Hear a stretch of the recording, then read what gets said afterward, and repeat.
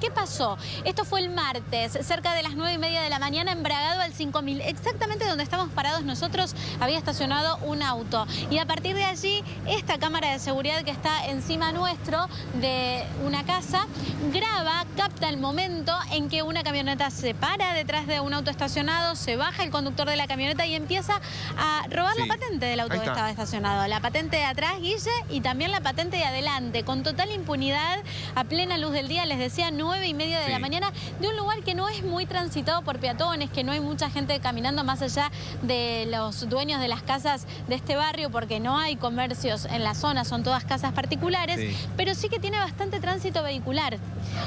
Pasaban autos, de hecho, durante el video y a nadie le, llamó la atención la situación. Claro, a veces uno va manejando, vas prestando atención este, al tránsito o a lo que tenés por delante y no a lo que está haciendo alguien que está estacionado. Así que puede no haber sido advertido por los automovilistas que pasaban por el lugar. Lo cierto es que este hombre dejó hasta la camioneta mal estacionada en la que él circulaba. Guille va a saber que no está bien estacionada, se baja y roba las patentes de este auto. Como te decía que esto quedó captado por la cámara de seguridad que un vecino había puesto cansado de que le roben, colocó la cámara para después este, poder identificar a los delincuentes y a partir de esa cámara entonces pudo captar el momento del robo.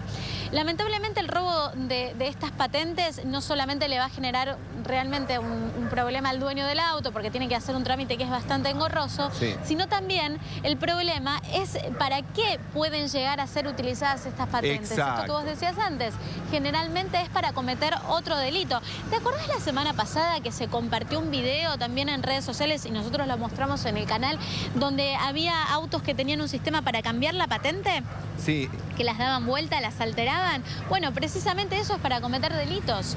Para en el momento en que se escapan, ahora en la ciudad de Buenos Aires se han colocado en diferentes accesos este, dispositivos para detectar las patentes que pasan por el lugar.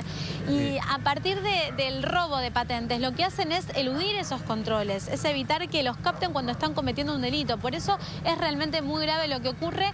A través de un grupo de vecinos de aquí de Mataderos, nosotros pudimos acceder al video y lamentablemente los vecinos de aquí de Mataderos lo que dicen, Guille, es que no es la primera vez que pasa.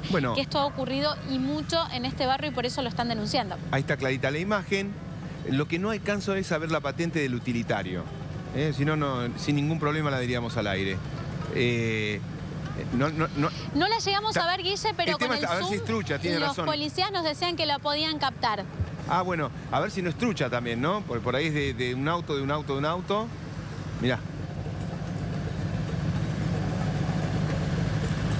Bueno, pero en realidad eso también es muy fácil de detectar este, en el momento si la patente no corresponde con el vehículo. Lo que nos decían los efectivos de la policía de la ciudad es que están trabajando no solamente con esta cámara que entregó el vecino, sino también con domos que hay en este barrio para determinar cuál fue el circuito y el recorrido de esta camioneta y entonces intentar dar con esta banda de delincuentes que en este caso robaron patentes, pero de seguro habrán cometido otros delitos con, con esas patentes. Si te parece...